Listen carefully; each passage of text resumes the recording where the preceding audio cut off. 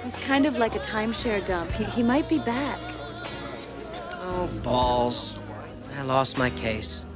You know, it, it's not that I object to sadness. It's just whenever I get depressed, I raise my hemlines. If things don't change, I'm bound to be arrested. Did you ever wish that you could erase a whole day from your life? Or, or a year, even?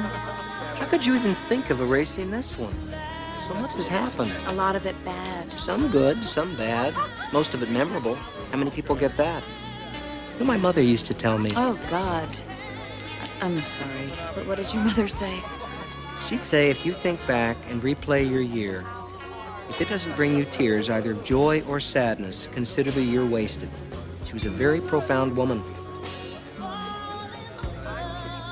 And on her tombstone it says, IP.